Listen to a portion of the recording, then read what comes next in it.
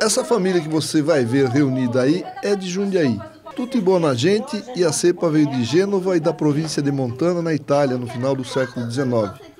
Aí está a dona Iracema Zanata Ferrari, viúva do seu Alcides Ferrari.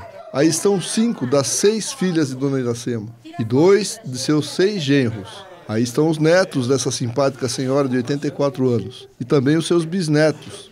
E essa turma é só um grão de areia no resultado da imigração italiana por essas bandas.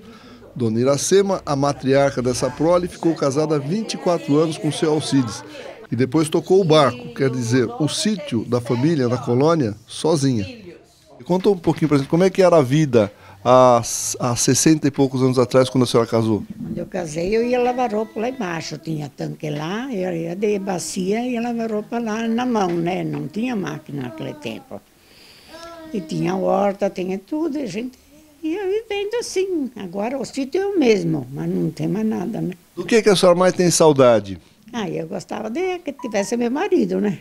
É bom, né, conservar a família da gente, né? Os velhos, antigos, é sempre bom, né? Agora a senhora está com 84 anos. Quem é que fica no controle aqui de tudo? Ainda fico no controle. E foi acompanhando um dia de reunião dessa família que adora se encontrar nos domingos e dias de festas que fizemos essa reportagem para homenagear os imigrantes que vieram de todas as partes nesse 25 de junho, Dia do Imigrante, no estado de São Paulo.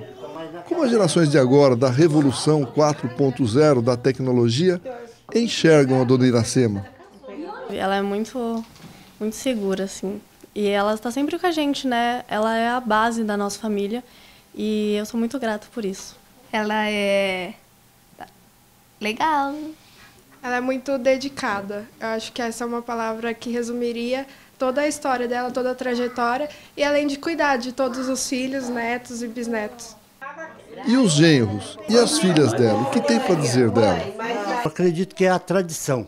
Até porque eu falo pela tradição da vida dela, da origem da família, porque para mim escolher a minha namorada, eu primeiro queria conhecer a minha sogra.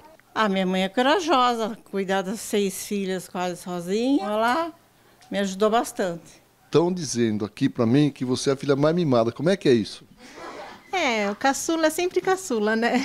Mas assim, minha mãe é muito importante para mim, ela é esteio da nossa família. Ela é que é a base de tudo, muito amor e corajosa. Essas são as palavras que definem ela. Essa reportagem é uma homenagem a todos os imigrantes das Américas, da Ásia, da África, da Europa e da Oceania que vieram para São Paulo e para Jundiaí. Afinal de contas, a gente sabe que seja a raça que for, a base de tudo está na família. E melhor ainda se a família pode se reunir em volta de uma mesa, nesse caso com a sua matriarca, Dona Iracema, para uma bela polenta com frango.